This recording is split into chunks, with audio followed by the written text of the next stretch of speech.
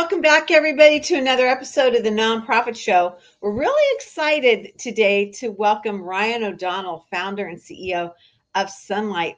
Hey, welcome, my friend. Hey, Julia. It's good to be here. Thanks for having me. We're really excited to be chatting with you because we're going to be talking about technology and earned revenue, how we can, you know, scale the, our impact but we're going to really kind of put this in the perspective of your voice and the lessons that you've learned um, with a really interesting career. And so I always love this type of conversation, Ryan, because it's not just theory, it's like actually learning and discussing something with somebody who's done it. What a concept, right? So this is going to be a lot of fun, and we're going to really be able to uh, learn from you. Another thing that we learn from every day, and that is our amazing partnerships that we have with our sponsors. And they include Bloomerang, American Nonprofit Academy, Staffing Boutique, Nonprofit Thought Leader, Fundraisers Friday, our new episodes every Friday, just dealing with fundraising. They're really fun.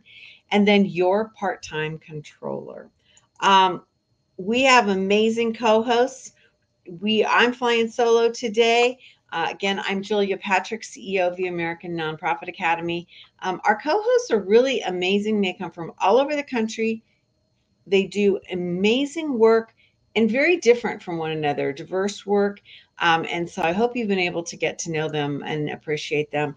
Hey, Ryan O'Donnell. Okay, founder and CEO of Sunlight. You've done a lot of really interesting things in your life, and we are going to get through, a, you know, the connecting points of those.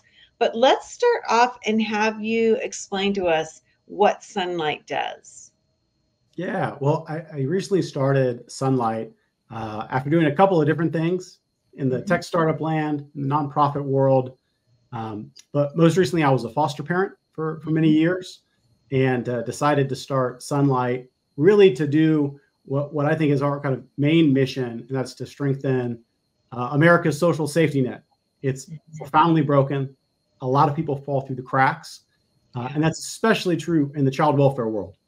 Uh, so we're building uh, products uh, to help improve the child welfare system, uh, both for attorneys, parents, social workers, and ultimately the kids involved in the country's foster care system. So that's a little bit about Sunlight and what we're building.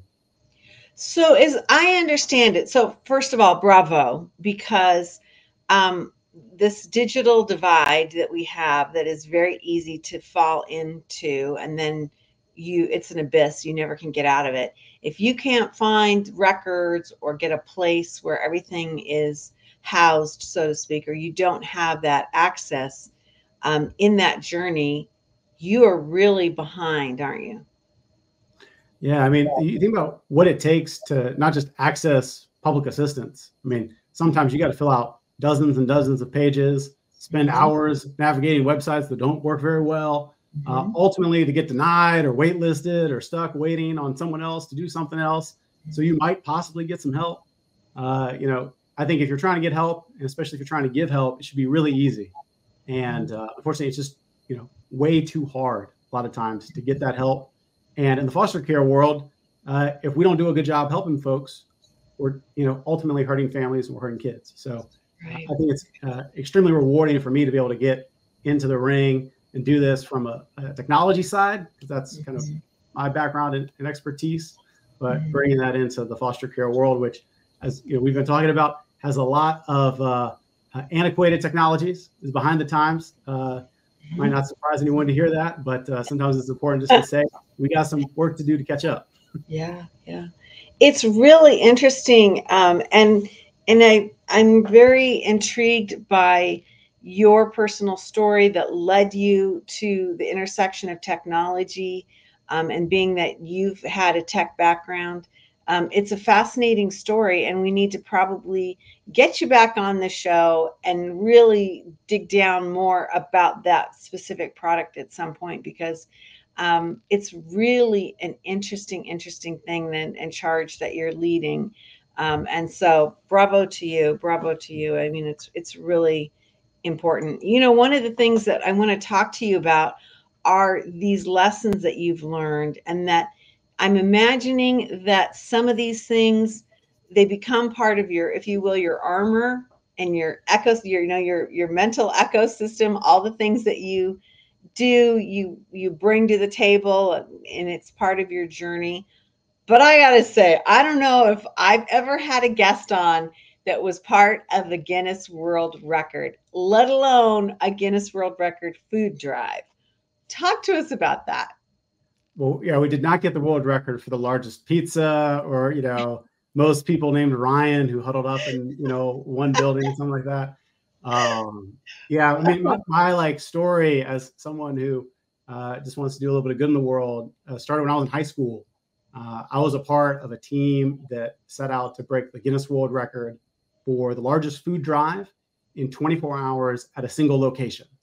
So you know the the uh, I, I would say like the United States Postal Service, they do a you know a food drive across the whole country, every single mailbox in America. Right. Uh, we did a food drive in one place in the parking lot of our high school. Oh my god! So that's that's the record. Uh, we broke it from Canada. Some some groups in Canada had it. They raised a little over half a million pounds of food. And back in 2011, we broke it. We raised about 560,000 pounds of food. Wow. Now, you said something really interesting to me in the green room, and you said, I'm waiting for somebody to break this record. I would love someone, please break it. It has been burning a hole in my pocket ever since we got it. Uh, we have hoped for someone to break it every couple years. Someone tries, and they never set their sights big enough. They, they top mm. out at maybe 50,000 pounds, 100,000 pounds. So you really got to go big if you want to break the record.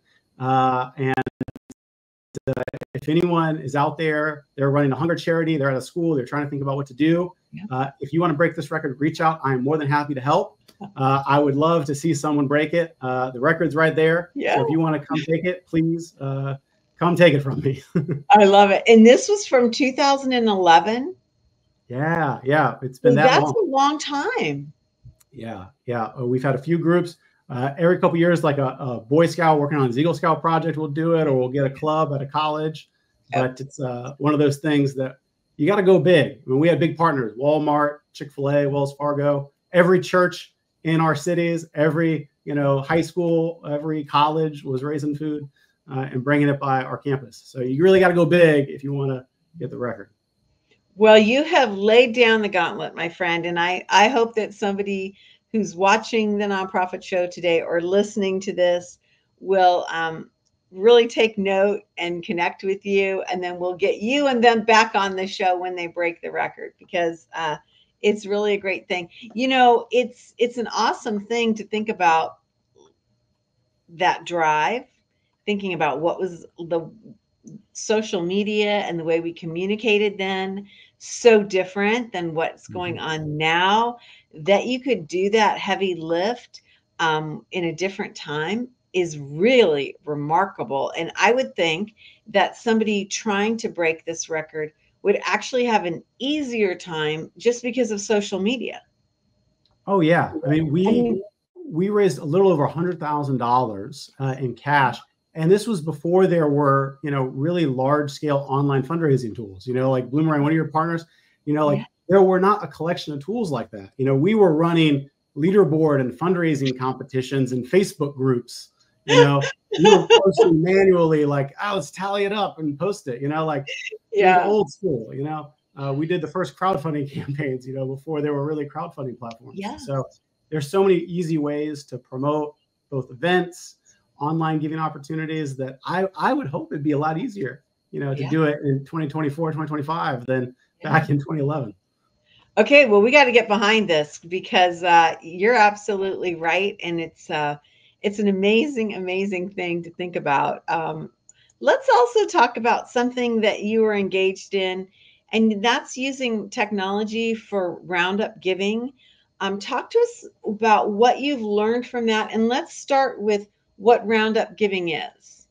Yeah, well, after the food drive, uh, to connect these two, um, we went to the food bank the day after. They had rented a whole warehouse for us.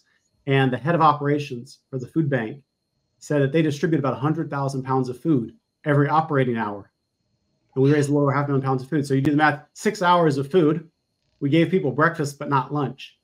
Uh, so I was 18 years old and I heard that it was like a punch to the gut. I went to college and wanted to do something about it. I figured there's all these fundraising campaigns, which back then, you know, a few retailers would ask you uh, at the point of sale when you're checking out if you wanted to donate. And a lot of times they'd ask you to like fill out some cards, put something up on the mm-hmm. wall, give, you know, five, ten, twenty dollars. I was yeah. like, well, what if we just made it really easy? Like round up and donate those, you know, spare pennies uh, electronically because uh, everyone's using their credit cards and have that money go to local causes that you care about. So that was really what we had created with Pennies for Progress, uh, a novel concept, you know, back in 2012, uh, but now a little bit more ubiquitous. Um, mm-hmm. Exciting to see uh, so many people doing that now.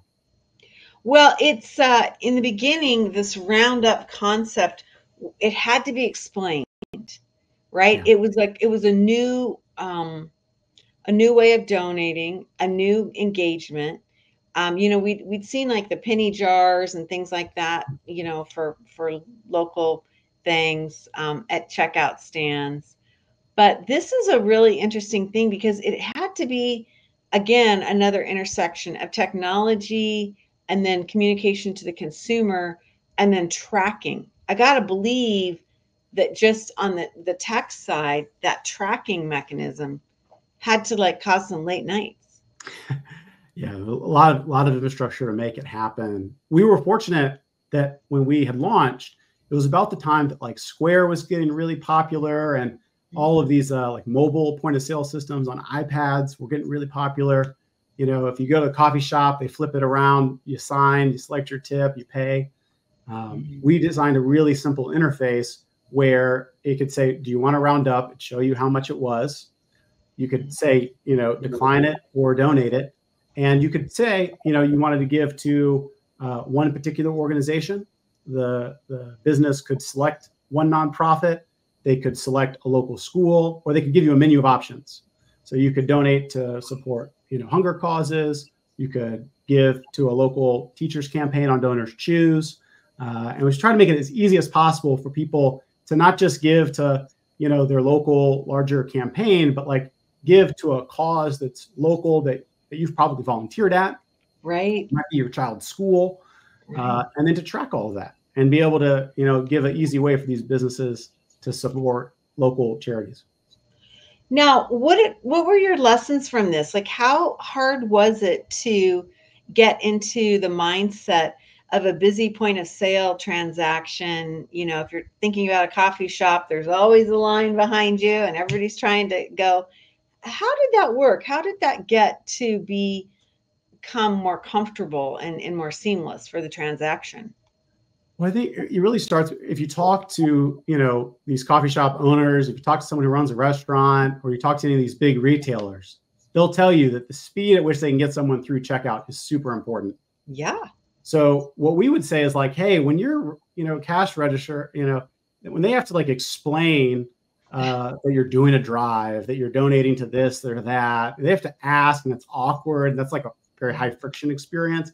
That's that's not good. And that was kind of the status quo. So we made it really easy where they already have to click confirm and we just said you know we're going to put a second button there that says confirm and round up. Uh, so we tried to make that really easy to reduce friction at the point of sale mm-hmm. um, and then to make it really easy to like onboard. So if you were one of these businesses that was using any of our point of sale partners um, we worked in store but also in uh, e-commerce you know it was just a you know, simple click of the app, really easy to install, really easy to like start one of these, you know, charitable giving programs. Mm-hmm. So that was equally as important. It's like make it easy to give, but also right. make it easy to like set it up. Yeah. Yeah, because it's a lot easier to say no than it is to say yes, right? When you're in terms of of adopting a new methodology at that point of sale, um, to your point, you've got people, you know, trying to communicate with the consumer you're trying to sell, but then you've got a, a comfort thing there, the people lined up behind you. I mean, there's a lot going on in a short period of time. And at the time, that was such a relatively new concept, wasn't it? Yeah, I mean, it wasn't as ubiquitous as it is today.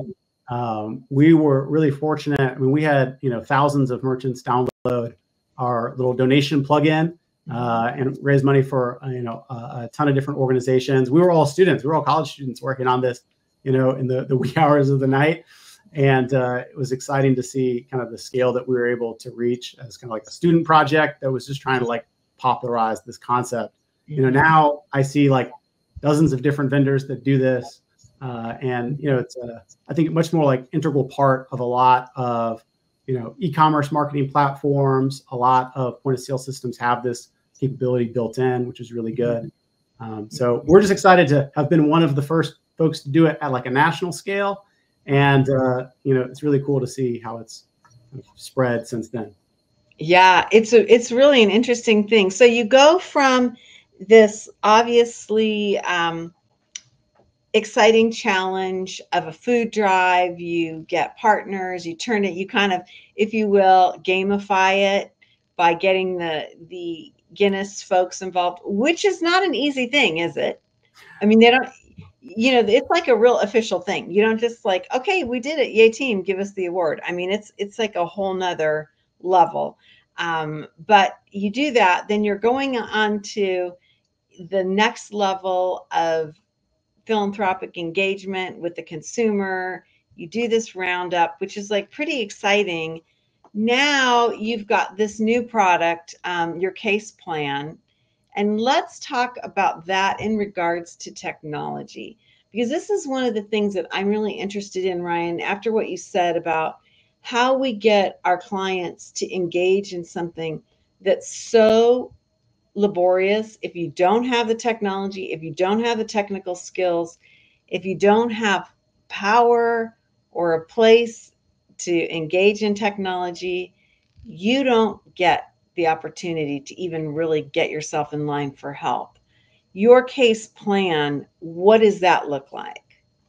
Yeah, well, you know, really it's all about bringing some of the technology that that is kind of commonplace everywhere else, you yeah. know, in the business sector, in, you know, sales and marketing teams and recruiting teams um, that is just normal. I mean, it's kind of like an afterthought, right? But in the child welfare world, it's a world of fax machines and snail mail and paper notebooks, right? And you know, there's over 400,000 kids in our country's foster care system, and most of their caseworkers are managing their cases with, uh, you know, uh, a paper notebook and some sticky notes on their desk, and uh, we just don't think that's good enough. And your case plan is really built to be a communications tool because mm-hmm. there's so many people involved in the child welfare system. You got you know county or state social workers you've got uh, uh, birth families you've got relatives you've got foster parents you've got lots of different caseworkers lots of different attorneys mm-hmm. so our product really just brings everyone together in one app where they can communicate securely you know a foster parent can share photos with the biological parent mm-hmm. uh, you know the attorney can securely message their clients uh, clients can upload their uh, you know certificates, going to various, you know, parenting classes and things like that, and really helping to just document it uh, and get everyone all on the same page so that we can get kids out of the system, uh, you know, so they're not just stuck there waiting around for all the grown-ups in their life to get on the same page. Right. Talk to me about this experience um, that you're bringing, your personal experience as a foster parent, and then it's a marriage with technology. Um, communicating what this can look like and how this works. How's that gone over? Yeah. Well, you know, a lot of times people will build stuff and have no experience in it. Yeah. And if you're in the nonprofit world, there's plenty of people who want to sell you something yeah. that'll do something for you that yeah. might have nothing to do with what matters to you. Yeah. One of my friends, executive director of a, a local nonprofit, he's like, I get these calls every day, Ryan. These people don't understand what I care about. I care about serving my clients. I care about meeting my fundraising targets. I don't care about this, that, or the other thing. You know, I don't need to optimize for X, Y, or Z. You know, uh, so I think it's just it's about being able to build technology mm-hmm. from, a, from a place with some lived experience where you actually feel the pain of what it's like when things don't work right. You know, I had to tuck in our foster son every night, and he wanted to know when he was going to go home, and I had to tell him I don't know. I had to tell him that the next day I'll talk to the social worker and we'll get on a plan. We'll talk to with his dad. So, you know, I, I lived that, you know, for years. I got to see what it's like when the system doesn't work mm-hmm. and and I got to build a really close relationship with our foster son's uh, dad. Um, and you know, most of the parents involved in the child welfare system are not abusive parents. In North Carolina, about 85% of the kids have never been abused. Their parents are simply poor and they fell through the cracks of the social safety net. So, you know, what I saw was that you really had to bring technology to the forefront to make it easy for people to navigate it, for people to know, you know, when they got a court appointment, when they got to go to an IEP meeting with the school, you right. know, and you know, when you think about building a product, you really want to make sure it's built around the needs of the actual user and not what like some person in some room in a far off land thought was needed. So I just right. Felt like I had uh, you know, the time, the resources, and, and honestly just the the dedication to like building for parents, mm-hmm. making sure that like, their kids are kind of front and center. Mm-hmm. So that's that's kind of why we started to focus on it that way and how we think about building technology uh, mm-hmm. the schools. So, when you look at the trajectory of where this is going, again, you've been engaged in technology and where you've had to communicate maybe a new or hard concept. Um, how is it going? Like, what do you see? You know, the the application. What what's going on? Like, I realize that this is new, relatively new. What's what's what's percolating? Yeah, well, you know, the United States is a great country. We've got a laboratory of democracy, 50 different states, and every yeah. state, some states have different uh, county run systems. Where in North Carolina, we have 100 different child welfare agencies. They all do their own thing. In other states, they have a state run system. Um, you know, right off the bat, we, we've seen some really uh, strong interest. Um, we uh, are actually just now launching in the state of Oklahoma uh, as our first statewide customer, and we're doing some pilots in some other states uh, just because they really want to improve the quality of legal representation. They've got nonprofit legal clinics uh, serving uh, the, both the parents and the children involved in these cases. We also have all these nonprofit foster care agencies as well. Mm-hmm. Um, so the interest has been, uh, you know, really great. Just because, you know, in this country we really have a foster care crisis. We've got a lot of kids entering the system, a lot of times for reasons not related to abuse but neglect. And we also have uh, another problem, which is there just aren't enough foster parents. Foster parent recruitment's down, foster parent retention is down. Uh, so you really got to look at the data and see like kids are often better off with their family or with a relative than they are in a, in a group home or in a, in a you know a stranger's home like mine as a foster parent. So you really want to look at what are the ways that we can actually you know provide a good, safe, stable, and loving home for these kids Mm-hmm. And uh, there's a lot of momentum around preventing foster care uh, mm-hmm. as well as, as, preserving those families. So we want to really help contribute to that mm-hmm. with our product and, and work with people who you know believe the same. Right. It's absolutely fascinating um, because I've got to, to ask you this. Could you have come through this trajectory without having been part of the of the technological business world? You know, I, I don't know if I could. I don't I don't know if I would bring uh, you know anything to the table. Um, you know, there's a lot of um, states trying to you know build you know custom software to run their child yeah. welfare systems, and they don't have a lot of experience with technology. Uh, right. So you know, in those states, they they spend an awful lot of money and an awful lot of time building stuff that just doesn't work and doesn't right. actually help the people. I think it's a real shame because if we don't do a good job for these families, you know, they're the ones who bear the costs, not yeah. necessarily the person in charge with building the tool. Uh, so, you know, for me, it's deeply personal, but, you know, I have the capability around building technology. I love building great products. Uh, so it, it felt uh, kind of a natural fit for me. I don't know what else I would do, honestly.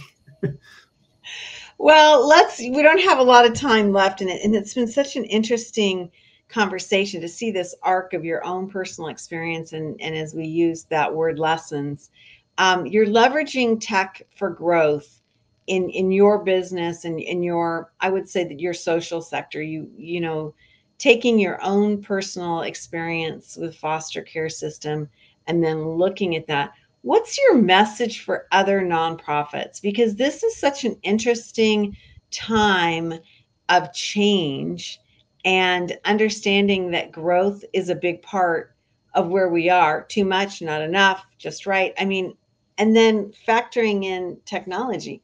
What are some of your wisdom points on this? I think the number one thing you could do if you're you're a nonprofit leader, whether you're at a big organization or a small organization, mm-hmm. you got to get comfortable with technology. You know, it's one of those things that if you're not great at it, that's okay, but you you have to be able to have some skills in it. It's you know almost a requirement these days to be able to maybe not be a fully digital native, but to be I, I, like to call it dangerous with technology. You know, um, read up and, and you know learn what you can do. You know, if you use Bloomerang, uh, learn about their APIs. Learn about what you can do to get the most out of the investments you already have. Learn about how you can customize it. Yeah. These tools are really powerful if you can leverage them really well. Uh, you know, learn about the difference between a no-code tool and a low-code tool. You know, there are amazing resources out there for people who aren't software engineers, who might have a little bit of a technical background. Maybe they're really good with Excel, and they can learn how to uh, build really basic apps using some no-code tools. Like uh, my favorite is Glide. Um, you can also build really cool automations with a tool called Zapier uh, mm-hmm. that'll help save you time, help right. you be more productive. I just think like try it out and like see how it works. And you know, if you can fix one or two parts of your day and save you some time, like that's how you can use technology to you know improve both your own work but also your organization too. Yeah. You know, I think your mindset's really important because I think a lot of times we we look at products and and we are on the website and it's like, "Oh my god, it's going to do all this for me and all I have to do is hit a button." And then the frustration sets in because we haven't given it its due, right? We haven't said this is going to be a journey, this is going to be a process. Um, we we have to invest time, resources, energy, mindset, education. You know, it's it's a little bit um, foolish to think that something's going to just solve all of our problems, right? Um, and so I find that engagement piece that we have to redefine it or re-articulate like how we're going to engage um, and that's why I think I liked the word leveraging uh, tech for growth. I mean, leveraging it, it's more inclusive, right? It's not just hit the right button and it's all going to be fixed because that's never going to be the case. Yeah, there, there, are very few easy buttons in life, you know. Yeah. But if you can figure out how these tools work, yeah. then it, it's like a secret weapon. And and I think some of the best organizations are going to be the ones who can use technology uh, to power whatever their own mission is, right? Like there's a million different use cases. You just got to kind of be willing to go do some exploring and figure it right. out. I loved it. Well, this has been a fascinating conversation. You know, we are spending so much time, Ryan, um, on the discussion of technology. I mean, you and I were chatting in the green room. The nonprofit sector has been woefully behind innovation, woefully behind in adopting things. And um, so we've got to be more comfortable with this concept and really look at how this takes our leadership and our, our service level um, to more people and to towards greater solutions. So Ryan O'Donnell, founder and CEO of Sunlight, Check out getsunlight.org and you can learn more about Ryan's really impactful journey as a foster parent that uh, was the perfect marriage of his technological background and business savvy. Uh, and so, very exciting work. I'm really just delighted to have met you and, and had this short period of time on the nonprofit show to chat. Thank you, Ryan. Yeah, thanks so much for having me, Julia. Really enjoyed the conversation. Yeah, it's been really fun. It's going to be great to see where this journey takes you, how it goes, um, because we've we've done a lot of things on foster care uh, from different organizations, and it is shockingly different from community to community. The standards are pretty much no standards, and so not that people aren't doing the best that they can, but it just is um, it's fraught with so many challenges, and so um, good for you for engaging in this part of our sector. Um, I want to make sure that we also give a shout out to our amazing presenting sponsors. They include Bloomerang, American Nonprofit Academy, Staffing Boutique, Nonprofit Thought Leader, Fundraisers Friday, and Your Part Time Controller. These are the folks that join us day in and day out um, so we can have these amazing conversations like we've had with Ryan today. All right, my friend, We end every episode of the Nonprofit Show with this mantra. And today it really resonates with me in a different way, um, making me think about tech and the wellness of our of our ecosystems. And the message is very simple. It goes like this: to stay well so you can do well. Thanks everybody. See you back here again.